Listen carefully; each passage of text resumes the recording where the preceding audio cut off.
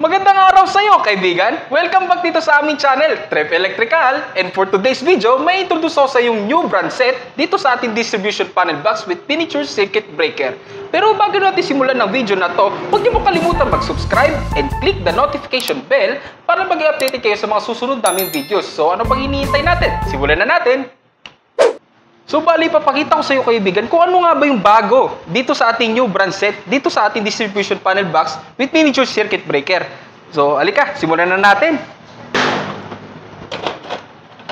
Yan, bali bubuksan natin yung ating distribution panel box. So bali magsimula muna tayo sa 12 ways. Yan. Ano nga ba yung kakaiba or new brand set dito sa ating distribution panel box? So malalaman nyo dito sa video na to guys. Yan. So walang miniature circuit walang miniature circuit breaker ang ating distribution panel box dahil ito ang bago kong i-introduce sa inyo. Yun ay ating Izuki. Yan, meron tayong 32 ampere, meron tayong 63 ampere at meron tayong 20 ampere. So ano nga bing kakaiba dito sa ating miniature circuit breaker? Kung mapapansin nyo ga, kung mapapansin mo kaibigan, napakaganda ng ating breaker oh.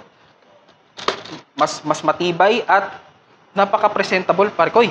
At ang maganda pa dito, hindi mo na kailangan pag magkakabit ka dito sa ating panel box, hindi mo na kailangan dito ng Phillips screw para para buksan itong lock niya para may kabit dito sa distribution panel box dahil kahit daliri lang kayang-kaya siyang buksan parikoy. Katulad nito papakito sa inyo. Yan. Yan.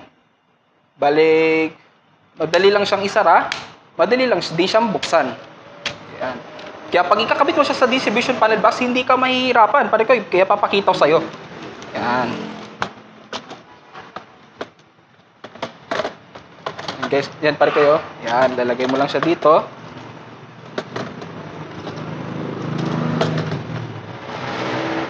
Yan. Para makita nyo kung gaano kadaling ikabit ang ating miniature circuit breaker sa ating panel box. Yan ang Isuki brand natin, parikoy. Yan, kung mapapansin nyo, yan po yung parang pinakabitan niya. So, kung dati, ikinakabit nyo lang siya ng persahan, pero ngayon hindi ka na mahihirapan. Ito na makakaresolve ng problema mo. Papakito sa'yo. Yan. Pipindutin mo lang yan. Hmm? Diba? Napakadali. Kaya wala akong masabi dito sa brand na to guys. At Bu- at bukod pa doon, tinan nyo kung paano ko siya bubuksan. Hindi mo na kailangan nito. Hindi mo na kailangan yung Phillips screw na yan. Dahil ang kailangan mo lang, kahit ito na lang gamitin mo, pare ko eh. Yan.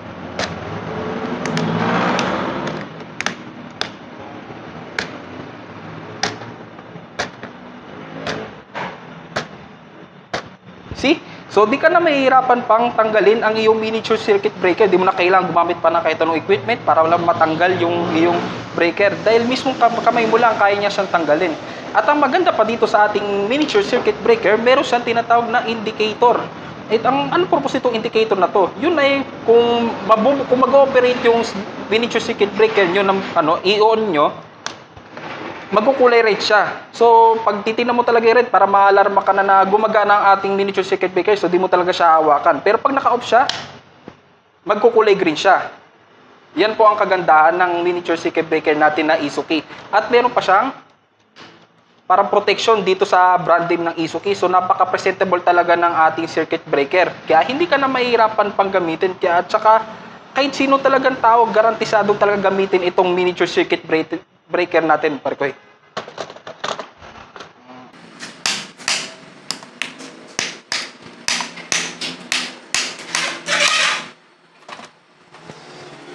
Meron pa rin siya kasamang bars bar. The same, din, the same lang din sa ating 8 ways at 6 ways.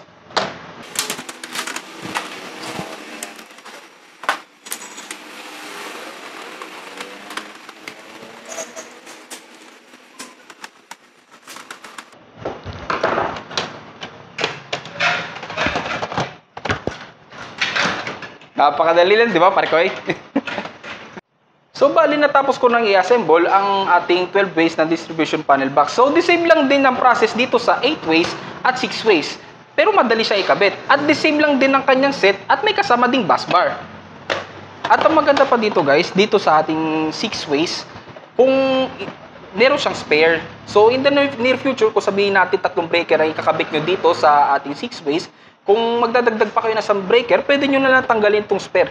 So di ka na muna kailangan bumili pa ng another distribution panel box para lang makapag-adjust para mapaglagay lang ng miniature circuit breaker. Dahil dito mismo sa ating distribution panel box, siya ang mag-adjust para sa'yo. Dahil tatanggalin mo lang ang spare at ikakabit lang ang miniature cir- circuit breaker. So walang hassle, di ba? So ipapakita ko sa inyo kung paano ito ikakabit ulit. The same lang din katulad din sa 12 ways. Napakadaling ikabit.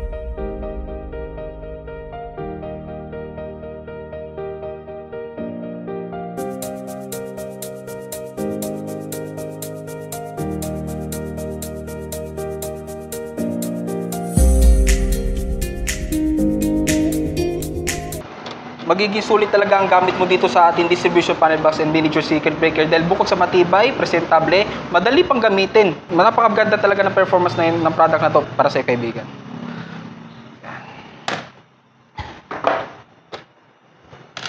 So, bale, magsimula muna tayo sa ating 8 ways. So, ito yung at kanyang set.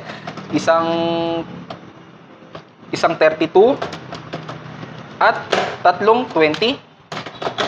Sa 6 ways naman natin, meron siyang isang 32 at dalawang 20. So, start na tayo. Yan, gaya ng sabi ko sa inyo, na hindi mo na kailangan ng Phillips screw. Dahil nahatak lang siya at may tutulak mo lang. So, kaya madali talaga siya ikabit. Hindi talaga hassle. Hindi ka nito papahirapan talaga kaibigan.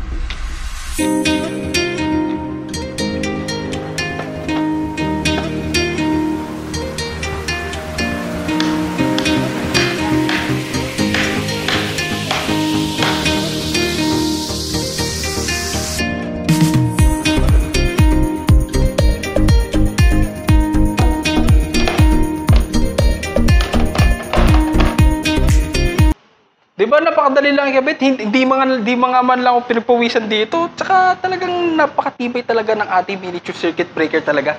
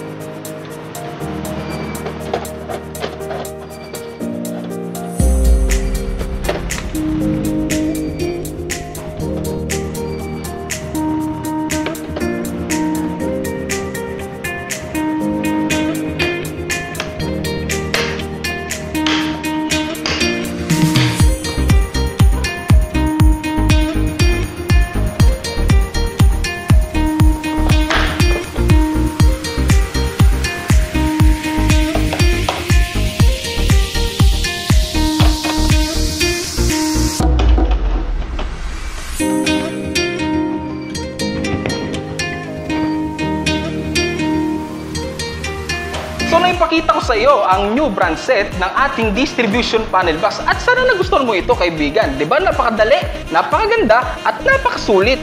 Salamat sa panonood sa aming video kaibigan. Kaya bago magtapos sa video to, meron ako sorpresa sa iyo na ikatutuwa mo. Kaya abangan mo kami sa mga susunod naming video. Kaya hanggang dito na lang.